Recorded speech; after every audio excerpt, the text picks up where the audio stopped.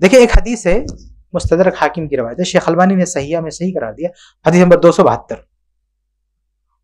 अबू हुरैरा रज़ी हदीस के रावी कहते हैं कि अल्लाह के रसूल सल्लल्लाहु अलैहि वसल्लम ने फरमाया कि अल्लाह फरमाता है हदीस कुदसी कि जब मैं अपने मोमिन बंदे को मुसीबत देता हूँ, बीमारी देता हूँ, कुछ भी देता हूँ, फलम यशकुनी इला उवादी तो जो उसकी आदत को आते हैं, देखने के लिए आते हैं, उनके सामने शिकायत नहीं करता।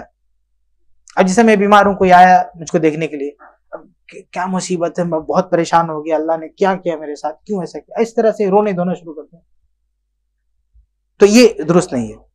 कहते हैं, अल्लाह तला फरमाता है कि अगर बंदे को मैंने बीमार किया और जो उसको देखने आ रहे हैं, उनके सामने वो गिगड़ाया नहीं, शिकवा नहीं किया अतलक तो हूँ मिनसारी तो एक वक्त आएगा कि मैं उसे आज़ाद कर दूँगा। मैं उसे इस मुसीबत से निकाल दूँगा। सुम्मा अबदल तो लहमन खैरम अल्लाह फरमाता है कि फिर मैं उसके जिस्म को जो गोश्त अता करूँगा, वो पहले वाले गोश्त से बेहतर होगा। ये समझ रहे हैं ना कि ये जिस्म का जो गोश्त है, ये सब चेंज होता रहता है? पाँच साल पहले जो गोश्त था, अभी वो थोड़ी है। वो बदलता रहता है। पुराना खत्म होता, अल्लाह ताला नया गोश्त चढ़ाता रहता है। हमारे जिसम का जो खून है ना, वो भी चेंज होता रहता है। गालिबन छह महीने पे पता नहीं कितने, पूरा खून बदल जाता है। फ्रेश नया खून आ जाता है। ये सिस्टम हमारा ऐसा है। तो अल्लाह फरमाता है कि अगर बीमार किया, भाई उसका दुबला पतला हो गया, गोश्त उसका खत्म हो गया, हड्डी हो गया हो तो अल्लाह ताला कहता है कि अगर वो हड्डी हो गया ना तो अबदल तो लहमन खैरमी पुराना जो गोश्त था ना, उससे बेहतर गोश्त ले आऊँगा। और वह दमन खैरम मिन दमी। और नया खून जो उसको दूँगा, वो पहले खून से बेहतर होगा।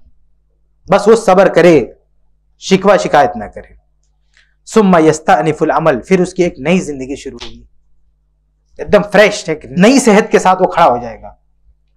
तो कैसी भी हालत हो जाए, हमें खुदकुशी नहीं करना है, मौत की दुआ नहीं करना है, लब पर, जबान पर शिकवा भी नहीं लाना है। ये मरीज़ का मामला है। अलबत्ता यह है कि भाई वो अपनी तकलीफ़ तो कह सकता है। तकलीफ़ बताएगा। डॉक्टर है, उसका दोस्त है, कोई भी पूछा भी क्या तकलीफ़ है?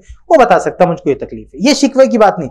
शिकवे की बात ये है ना कि वो अल्लाह ताला से शिकवा करने लगे। अल्लाह ने मुझे बीमार क्यों किया? ये शिकवा। अब कोई दोस्त है या डॉक्टर आके पूछता है क्या है? तो डॉक्टर को तो बताएगा ना, मुझे क्या तकलीफ़ है? कोई दोस्त है आके इयादत करा, पूछ रहा भी क्या है? कैसा महसूस कर रहे हो? तो वो बता सकता है, बकायदा हदीस है सही बुखारी की, कि अभी मैंने आपके सामने सुनाई थी हदीस। कि अब्दुल्ला बिन मसूद रज़ी अल्लाह अल्लाह के नबी सल्लल्लाहु अलैहि वसल्लम के पास गए, छुआ, देखा बुखार है, कहा, आपको बुखार है? कहा हाँ मुझे बुखार है, बहुत सख्त बुखार है। तो आप सल्लल्लाहु अलैहि वसल्लम ने कहा ना अपनी जबान से कि मुझे बुखार है, बहुत सख्त बुखार है तो इसमें कोई बुराई नहीं है। अगर कोई डॉक्टर पूछ रहा है, कोई साथी पूछ रहा है तो हम बता सकते हैं कि तबीयत खराब है, या बुखार है कुछ भी है।